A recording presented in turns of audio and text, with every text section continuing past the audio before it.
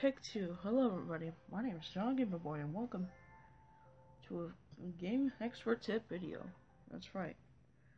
It's today. I'm going to be talking about. This is the first video for strategy in combat. Of, lots of people get confused that when it comes to these type of games, right? Well, not necessarily every. Well, yeah, um. So, from that point, you get, you ask yourself, what am I gonna do? So, what do you do when it comes to unknown areas? Well, you first train. I don't mean like choo choo choo choo choo train. I'm talking about, I'm talking about training like for combat, beating up stuff so you can become stronger.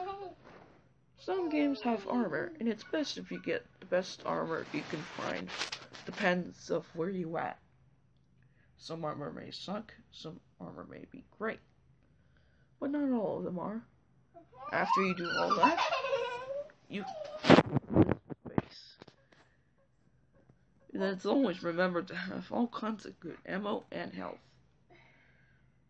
It can, it can be frustrating for for those who come this far and you didn't save. It's always good. It's always a good thing. It's always a good thing to say before you lose yourself in rage.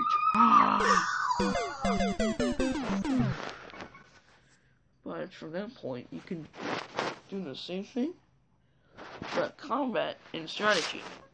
Strategy part is where you basically go, you know, basically from here goes.